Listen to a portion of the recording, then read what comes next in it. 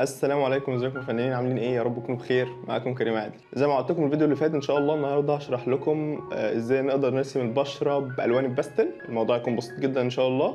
الفيديو مش هيكون طويل حوالي 10 دقايق أو 11 دقيقة في ال range ده. عشان تستفادوا يا شباب أقصى استفادة لازم تتفرجوا على الفيديو كامل من البداية للنهاية. هو 10 دقايق مش كتير. تتعلموا النهارده إن شاء الله تكنيك الباستل. عشان ما أطولش عليكم في الكلام قبل ما نبدأ لازم أفكركم طبعا لو أنت لسه جديد في القناة ما تنساش تنزل تشترك حالا من الزر الأحمر اللي تحت الفيديو مكتوب عليه اشتراك أو subscribe وتفعل زر الجرس عشان تبقى من فريق الإشعارات الكبير بتاعنا اللي أول ما بينزل فيديو بيعملوا لايكات وكومنتات دايما. وطبعا ما تنسوش تدعموني ب like على الفيديو لأن هو ده اللي بيشجعني إن أنا أكمل معاكم. عايزين نوصل الفيديو ده اقصى عدد ممكن من اللايكات شباب. كل اللي يتفرج يعمل like لأن في شباب بيتفرجوا وبينسوا يعملوا like. عشان ما أطولش عليكم بقى يلا بينا نخش في الشرح. في البداية فنانين هبدأ أستخدم قلم باستل مش الصباع. آه، وهبدأ براها أعمل تظليل من الجانب الغامق. عشان أخده لبره على الجانب الفاتح. زي ما إحنا شايفين في الصورتين الإضاءة عندي موجودة في نص الجبهة يعني في نص القوره عندي. تمام؟ فبالتالي لازم أبدأ من الجنب. زي ما بدأت في الوجه التاني اللي على الشمال ده بدأت من الجنب اليمين وأسيح ناحية جوه زي ما أنتم شايفين كده. طبعا أداة التسييح اللي- أو طرق التسييح اللي ممكن أستخدمها في الباستل هو صباعي. ده أول حاجة زي ما أنتم شفتوا من شوية ولسه هتشوفوا دلوقتي أهو. بعمل بصباعي بالراحة خالص. يا إما أداة التسييح اللي أنا اتكلمت عنها في الدروس اللي فاتت اللي هي بتكون آه، بسن كاوتش كده أو جلد مطاط دي بتكون ممتازة جدا بس خصوصا في المناطق الصغيرة أو المناطق الرفيعه زي ما أنتم شايفين وإحنا بنتكلم أنا ظللت المنطقة اللي على الشمال كلها. بدأت أعمل الغامق آه، ناحية القوره أو الجبهة من الشمال من إيدي الشمال. هكرر نفس الكلام من الجبهة أو من الناحية اليمين. بستخدم الدرجة اللي هي الجمل الفاتح دي اللي هي المصفره شوية مدينا تأثير الأصفر لكن مش أصفر صريح طبعا. نصيحة فنانين وإحنا شغالين في البورتريه في أي خامة سواء ألوان خشب ألوان باستل ألوان زيت ما نحطش أصفر صريح في البورتريه. لو هنحط أصفر نستخدم الأصفر الجملي اللي هو اللي في إيديا ده. دلوقتي أبدأ أحط الإضاءات بقى اللي في الجبهة دي بقلم الباستل الأبيض ده ماركة Faber-Castell القلم اللي أنا استخدمته في البداية ور- آه، ماركة وركسون ال- القلم ده ممتاز برضو أنا بستخدمه في درجات البشرة موجود منه طقم كامل في درجات البشرة. لو حبيت تشتروه هتلاقوه في مكتبة الراوي. بالراحه خالص وببدأ أدمج ال... ال... الإضاءة البيضة دي مع ال- التظليل اللي جنبها بحيث ما تبقاش كأنها يعني عشان أوصلها لكم بمعنى أصح ما تبقاش كأنها بقعة بيضة في القوره لأ إحنا عايزين الإضاءة البيضاء دي يا شباب تكون مدموجة مع التظليل اللي جنبها مدموجة مع البشرة فاهمين وجهة نظري؟ فبالتالي لازم ندمجها بالراحة من الأطراف كده مع التظليل الأصفر أو الجملي اللي إحنا عملناه بالشكل اللي قدامنا ده. لحد كده الخطوات سهلة؟ طبعا أنا مصورتش العين لأن صورت لكم فيديو تقريبا أول امبارح عن العين فاللي ما شافش الفيديو بتاع أول امبارح وحابب يشوف العين بتترسم إزاي يروح يشوف الفيديو هنلاقيه تحت ورا ده على طول أو قبل ده على طول. هتفيدكم إن شاء الله رسمنا في عين الشخص التاني اللي هو على الشمال ده. الموضوع بسيط جدا يا شباب. دلوقتي بدأت أخش بالدرجه الأغمق من من الدرجة الجملي اللي هي درجة البني المحمر دي أو اللي هي راميه على برتقاني شوية برضو. طبعا أنا بحط الدرجات دي على حسب آه، ألوان الصورة أو الدرجات الموجودة في الصورة الأصلية. طيب لو انت مش عارف تطلع درجات الصورة أنا برضو كنت عامل درس كامل بعرفكم أو بعلمكم إزاي نقدر نطلع درجات أي صورة أو أي بورتريه هنرسمه. فاللي ما شافش الدرس ده يروح يتفرج عليه برضو. تمام يا شباب؟ وهحاول أسيب لكم في شاشة النهاية برضو في الآخر في آخر الفيديو ده عشان اللي ما شافوش يتفرج عليه لأنه مفيد جدا جدا بيعلمك إزاي تقدر تطلع درجات أي صورة هترسمها دلوقتي بدأت أنزل تحت لو تلاحظوا إن أنا في المناطق الصغيرة خالص شباب أو في الخطوط الصغيرة خالص بستخدم قلم خشب لأن أنا مش كل درجات الباستل متوفرة معايا. أنا لما اشتريت ألوان باستل كنت مشتري درجات البشرة فقط.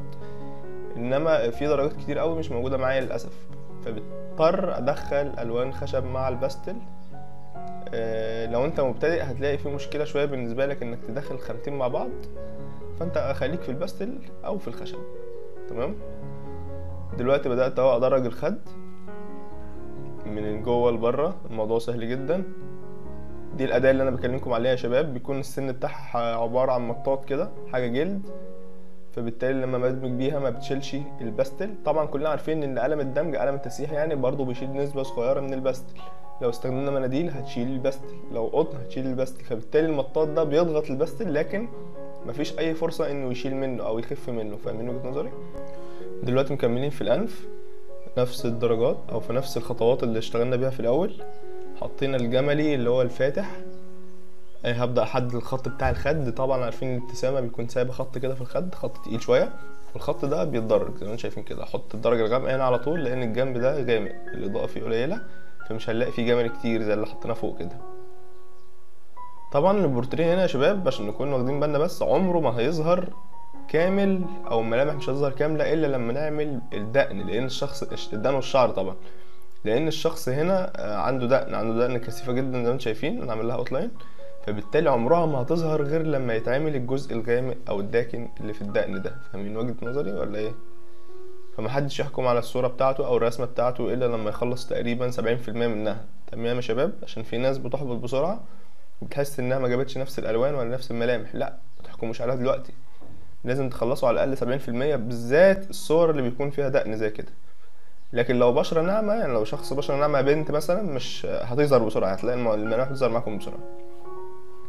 كملت بالأداء. أي منطقة صغيرة أو رفيعة بحس إن أنا صابعي مش هيجيبها أو صابعي هيبهدل الدنيا فيها فبستخدم الأداة اللي هي رفيعة اللي أنا وريتها لكم من شوية للدمج. فبيكون الموضوع أسهل بكتير جدا جدا جدا. دلوقتي أنا بستخدم قلم خشب نفس تقريبا نفس اللون الدرجة اللي أنا بستخدمها دي. أهو.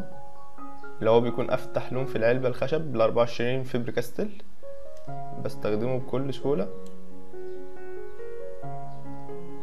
أي حاجة محتاجة تتضاف في الدرجات اللي أنا استخدمتها دي الإضاءة. بوسع الإضاءة شوية باللون الأبيض. بعد كده زي ما اتفقنا فوق بدمجها مع الدرجات اللي جنبها أو مع البشرة اللي جنبها بحيث ما تبانليش كأنها بقعة فاقعة جدا أو بقعة ظاهره جدا وتبوظ لي الشكل الواقعي بتاع البورتريه.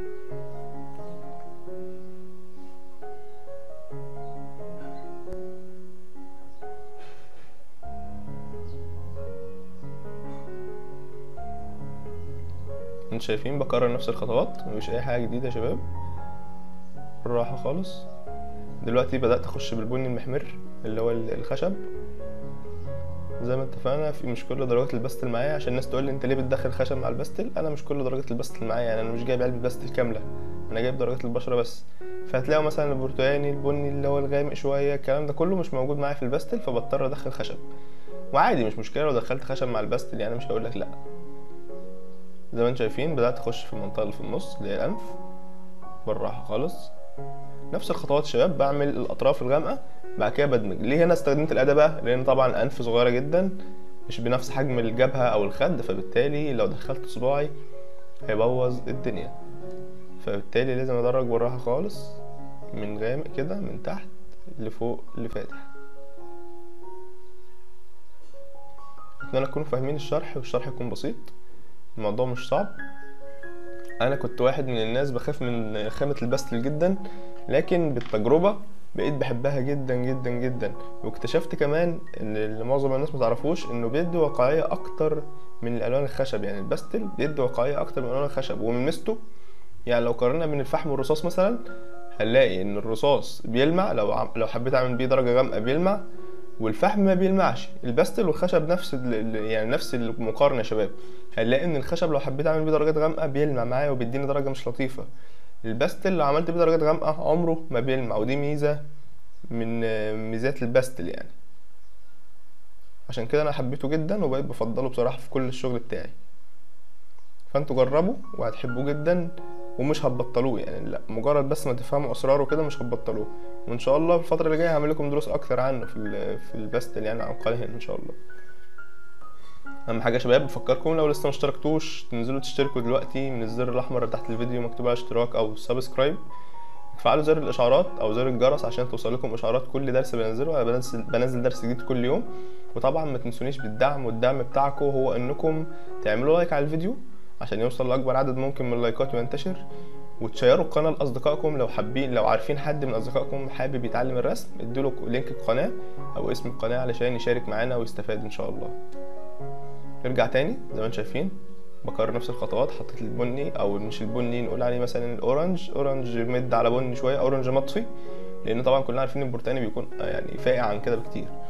حطيته وبدأت بالراحة خالص أحط الإضاءات ودلوقتي هبدأ أدرج الخد أو الحتة بتاعت الابتسامة دي الخط بتاع الابتسامة بدرجه من غامق لفاتح. طبعا ما بسيبوش خط صريح كده. كل ما بيعدي الوقت وكل ما بزود خطوة زيادة الو- الوجه زي ما تلاحظوا كده يا شباب بيظهر بيظهر أكتر بيظهر أكتر. فبالتالي الموضوع محتاج مني هدوء آه، مش محتاج منه سرعة. اتعود دايما وأنت شغال في أي خامة سواء خشب رصاص آه، بستل أي حاجة آه، تكون إيدك هادية وتكون عندك صبر يعني ما تستعجلش بسرعة.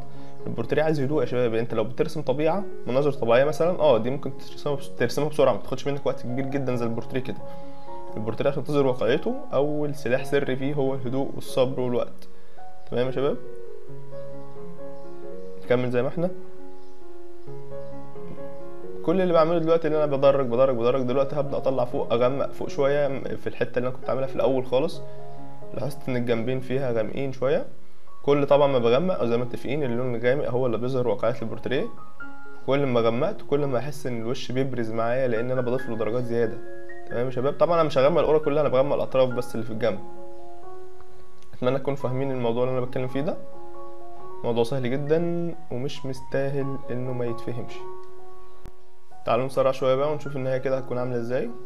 بكده فنانين نكون وصلنا لنهاية الدرس بتاعنا. أتمنى يا رب تكونوا استفدتوا وإن شاء الله هحاول أصور لكم برضو باقي الخطوات بتاعة الوجه اللي هو الدقن يعني نرسم الدقن إزاي بالبستل والخشب برضو عشان تستفادوا كده أقصى استفادة. بفكركم تاني لو لسه مشتركتوش انزلوا اشتركوا دلوقتي وما تنسوش طبعا تدعموني باللايك على الفيديو واستنوني في درس بكرة إن شاء الله. والسلام عليكم ورحمة الله وبركاته.